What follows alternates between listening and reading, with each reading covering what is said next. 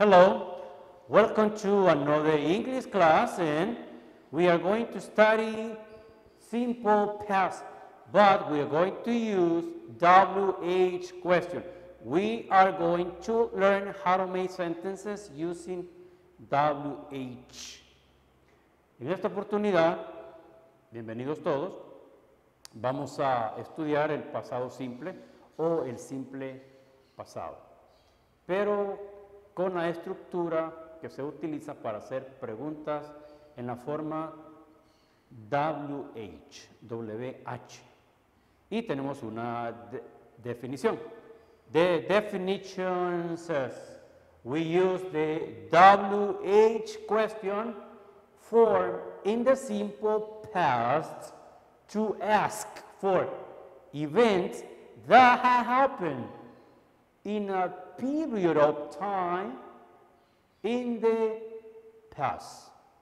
Vamos a utilizar estas preguntas que vamos a construir para preguntar por eventos que han sucedido en un periodo que es del pasado, en un preciso momento en que sucedió. And we have a structure. We have to follow the structure step by step. Hay una estructura que tenemos que seguir paso a paso sin romperla, que es WH, remember, WH are those WH questions like how, what, where, why, how long, okay?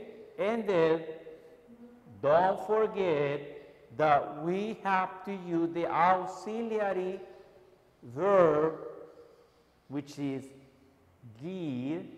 Did goes with all the subjects. Then we have subject, then the base form. The base form is the main verb, okay? And a complement. Vamos a utilizarla una WH, luego siempre, siempre, para toda o cualquier sujeto, pronombre que utilicemos, siempre va a ser did. Y el verbo tiene que estar en su forma original, no sufre cambios y un complemento. Vamos a ver el ejemplo que tenemos. Y el ejemplo dice, When did you buy that sweater? When did you buy that sweater? Si pueden notar, esta pregunta nos está indicando que WH indica en español significa cuándo. Entonces, para saber del pasado, siempre vamos a utilizar did. Did va a ir después de la WH question. No olviden eso. Did va a ir después de cualquier WH question que podemos estar utilizando. Puede ser where, puede ser why, how long. Entonces, where did, ¿Mm? Eh, why did, how long did, siempre, ¿ok? No olviden eso. Luego utilizamos el sujeto. El sujeto puede ser you, he, she, we, they. Como también pueden ser nombres. ¿De acuerdo? Y el verbo que vamos a utilizar tiene que ser el verbo que está en presente, siempre. Entonces, digamos, when did you buy? Y aquí sería cuando, solo para explicarlo y que lo puedan entender, cuando compraste. Y luego viene lo que es el complemento, that sweater. Sweater es un suéter, ¿verdad? Hey, when did you buy that sweater? ¿Mm? Pregunta común y solo puede estar cambiando lo que es el complemento. Where did you buy those shoes?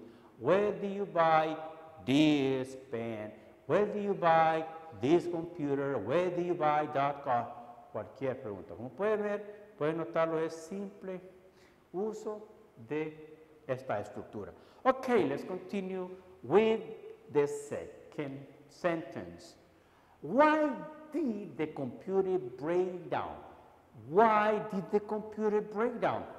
This is the auxiliary and this is the verb, break down. Okay? Let's go with the third one. Where did you go for lunch? Where did you go for lunch? Auxiliary, WH, you see? Subject, verb go, in the simple Where did you go for lunch? ¿Mm? ¿A dónde fuiste a almorzar? ¿Mm? Buena pregunta.